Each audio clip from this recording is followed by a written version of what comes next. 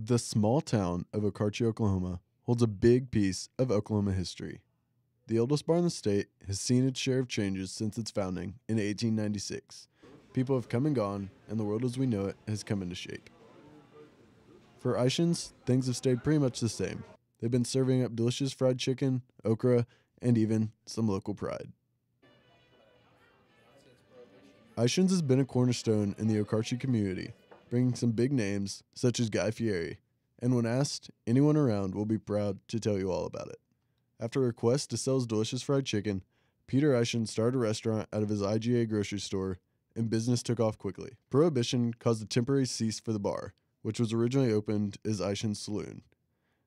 After Prohibition, the rebrand came with a new name, Eischen's Bar, opened by Nick and Jack Eischen, the son and grandson of original owner Peter Eischen.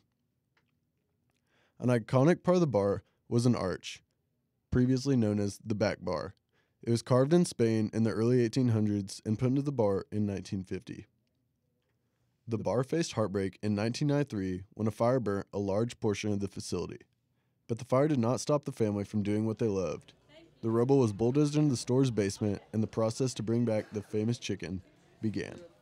It's been a really cool thing for me growing up with the bar. You know, we'd come here for my birthday parties, and it was always just a extra special feeling because I mean, my dad would know all the workers, and everyone there was your friend. They'd all get talk about how much you've grown and everything. It's just a really special thing to know that that bar's been around for hundred years and passed down from generation to generation, and that I'm a part of that it's been really cool to get to see all the history and hear about it, especially from like my grandpa and my dad.